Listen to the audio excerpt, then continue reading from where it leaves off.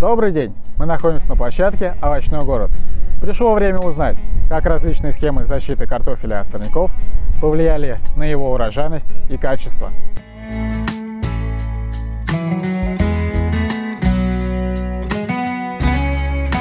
Благодаря контрольным копкам мы смогли увидеть, как различные схемы в итоге влияют на картофель.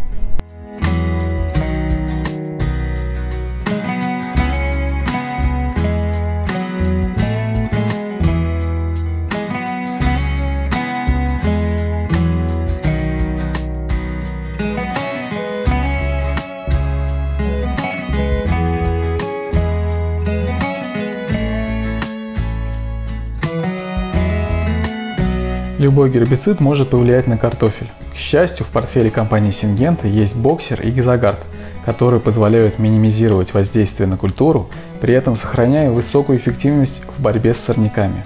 В вариантах 1 и 2, там где применялись гербициды компании Syngenta, урожайность оказалась наиболее высокой.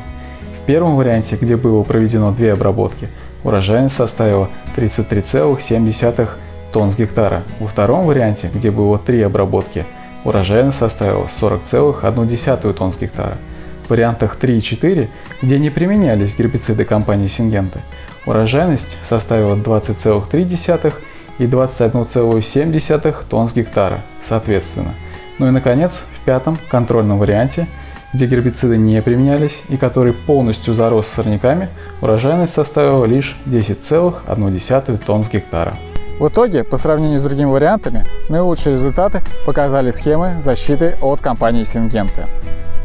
Кратность обработок также повлияла на итоговую урожайность.